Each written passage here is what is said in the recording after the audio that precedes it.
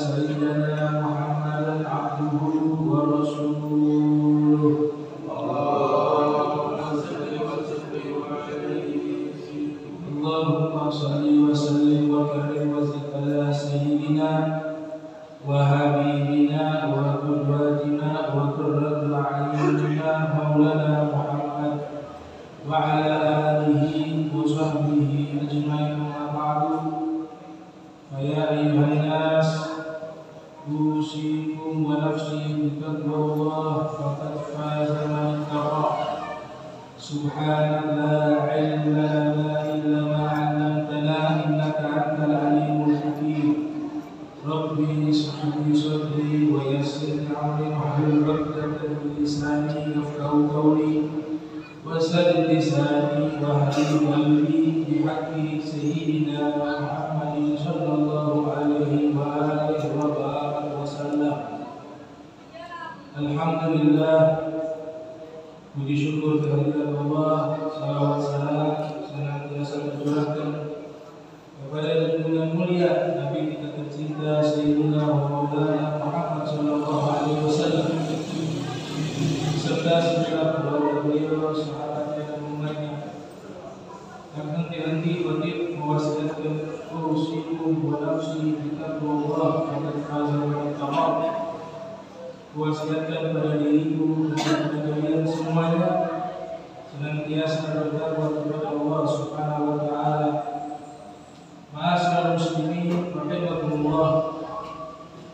Ada salah satu tokoh ulama Spanyol bernama Al-Imam Abu Qasim As-Suhaimi Al-Andalusi. Beliau adalah ulama kelahiran tahun 508 Hijriah dan wafat di Marrakesh di Maroko pada tahun 581 Hijriah.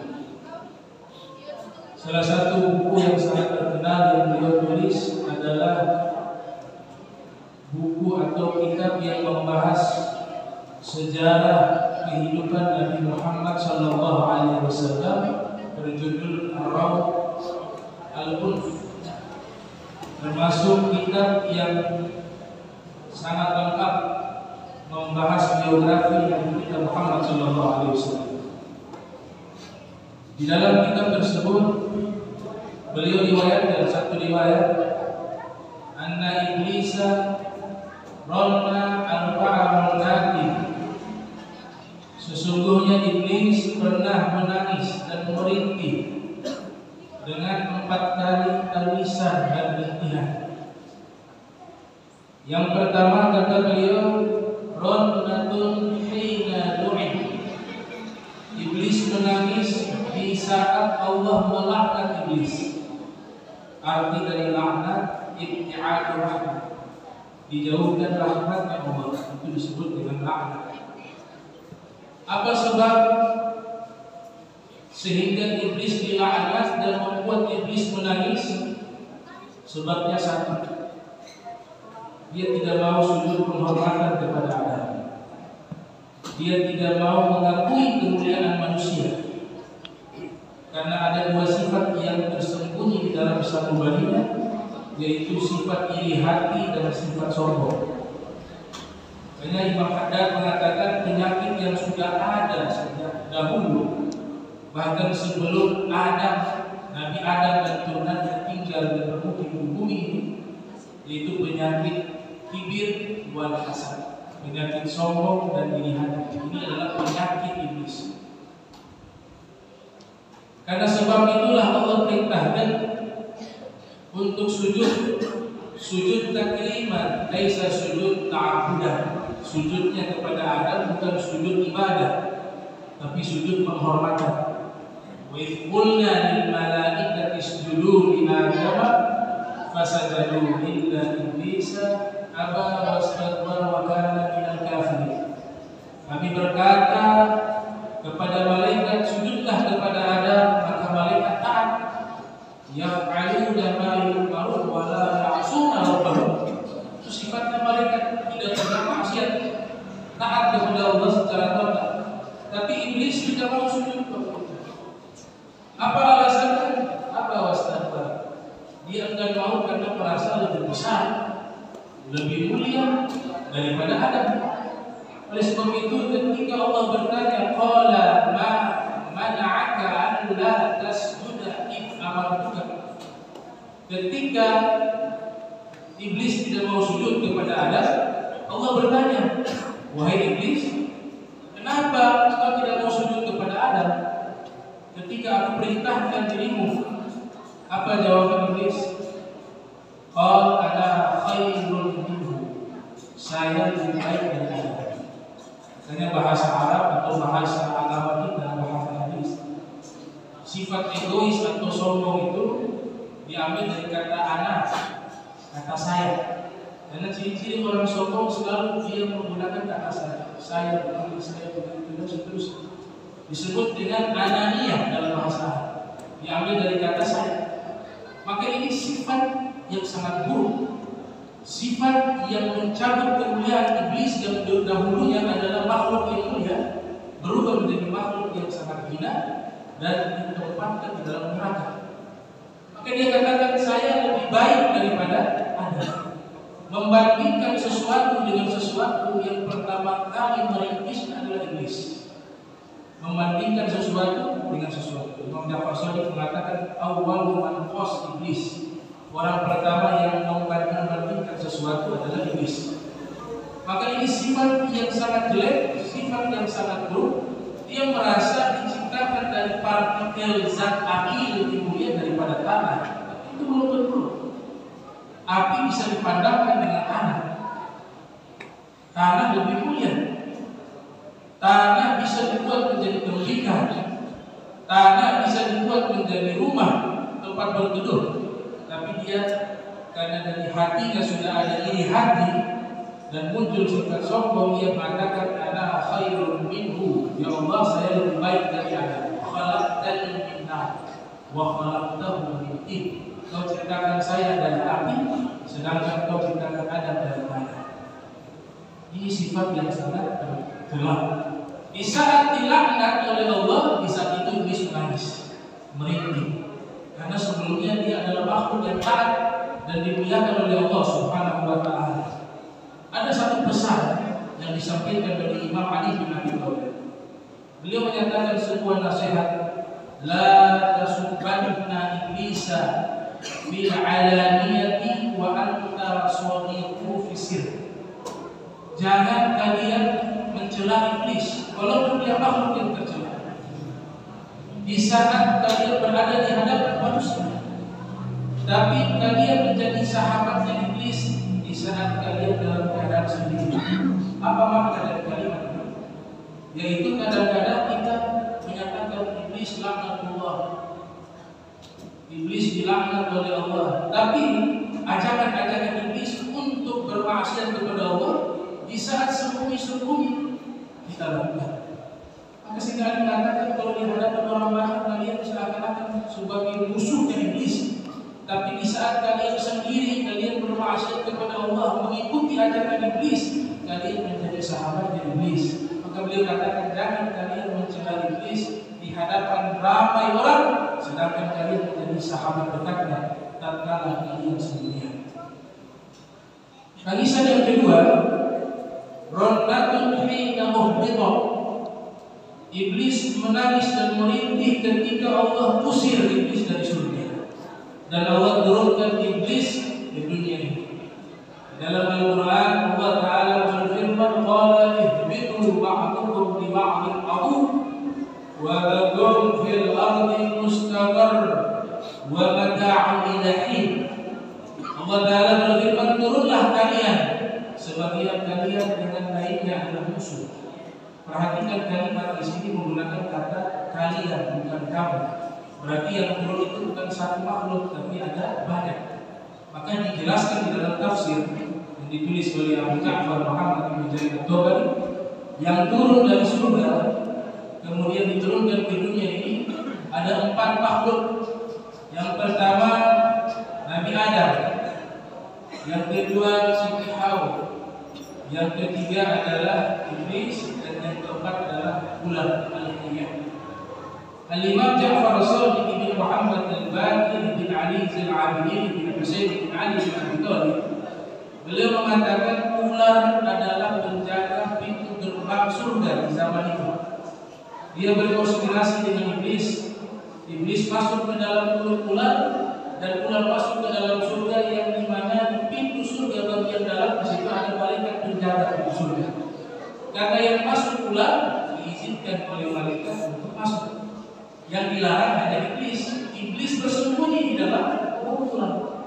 Ketika sudah masuk ke dalam surga tersebut, iblis keluar dari ular dan dia mulai menggoda dan membisikkan kejahatan di dalam hati Nabi Adam dan dalam hati Hawa. Karena sebab itulah dia berkonspirasi dengan iblis, Allah menghukumnya.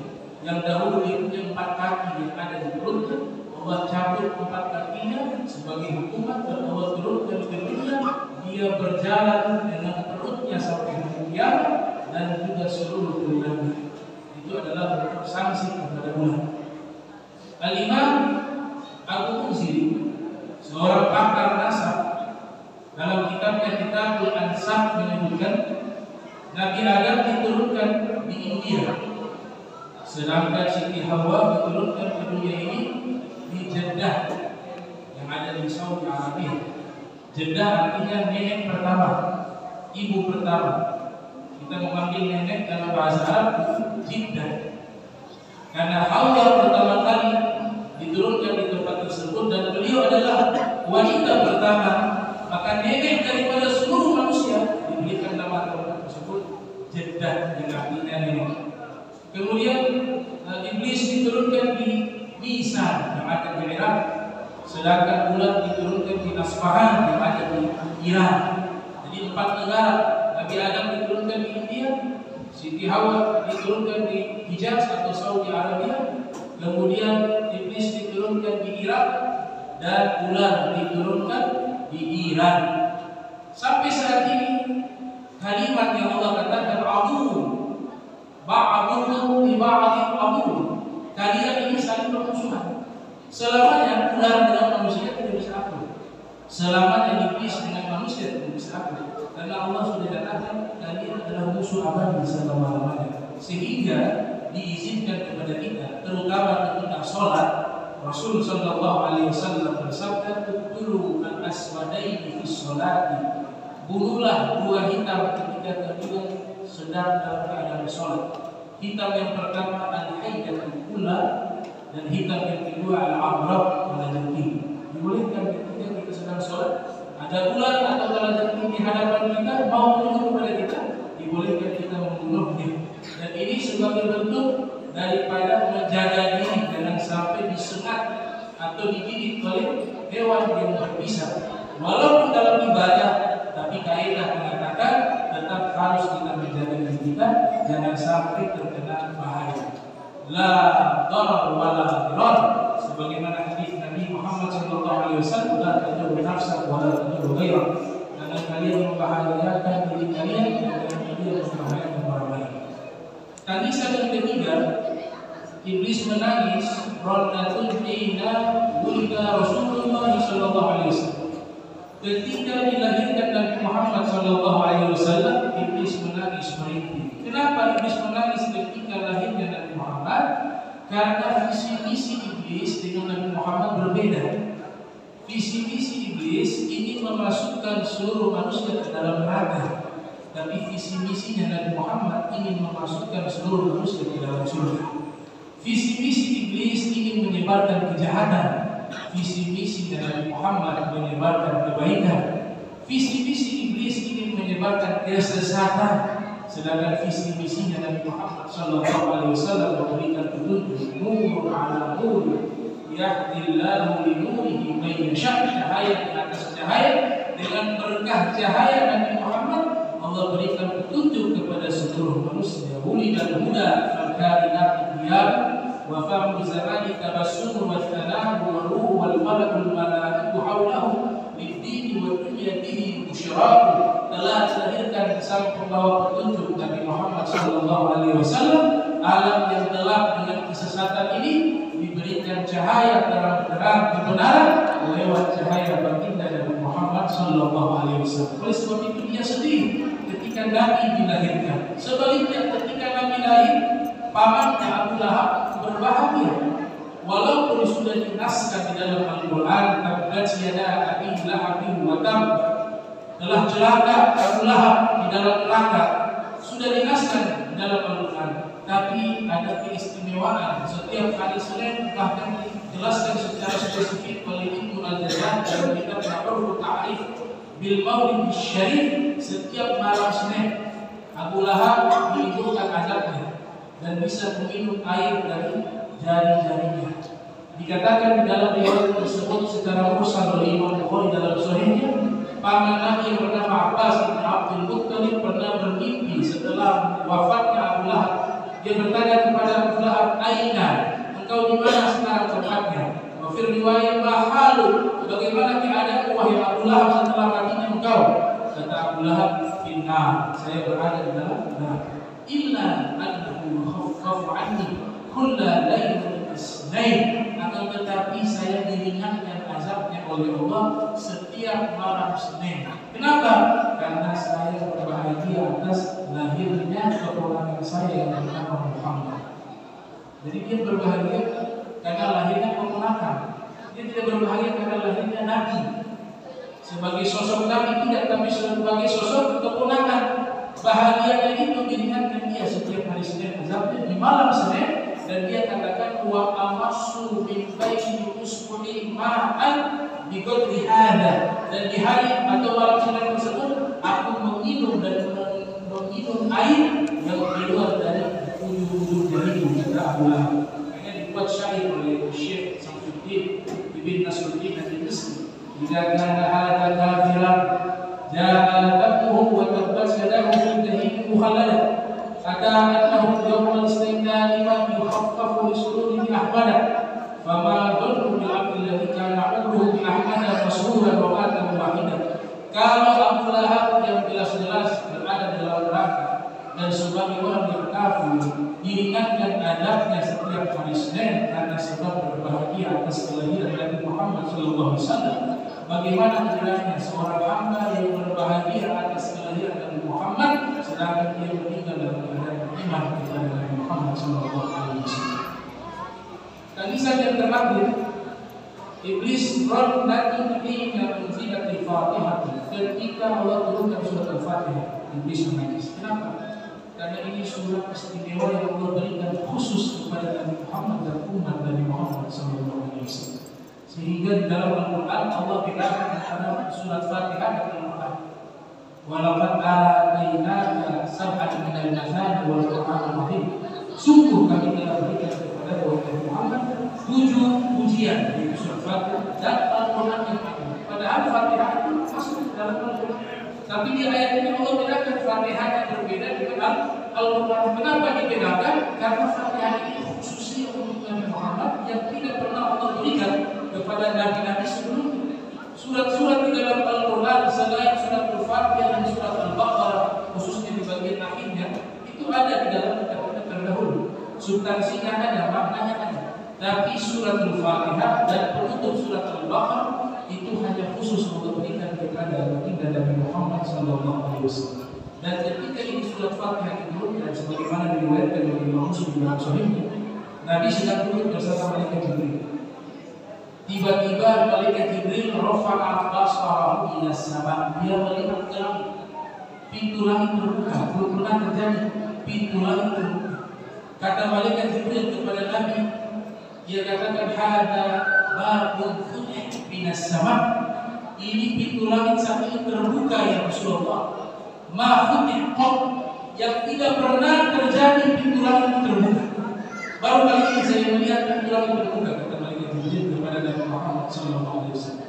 Fanazala minhu malakun fa'atan Nabiya sallallahu alaihi wasallam. Tiba-tiba di pintu langit yang terbuka itu muncul seorang malaikat atau satu sosok malaikat muncul.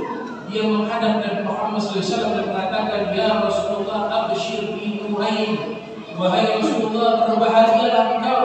Sesungguhnya engkau diberikan dua surat cahaya. Kata malaikat tersebut. Utitahuma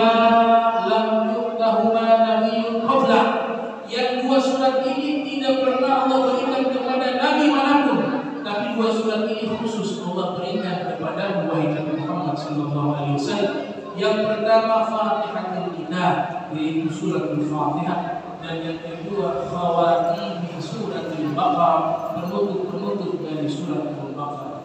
Barakallahu li wa lakum fil karim wa nafa'ani wa lakum wa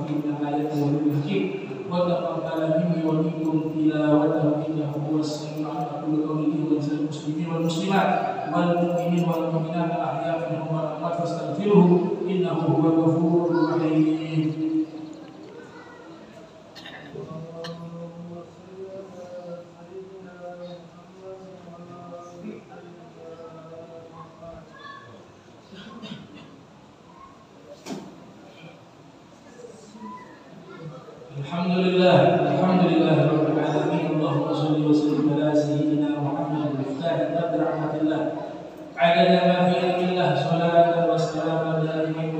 متلازما بدوام ملك الله وعلى آله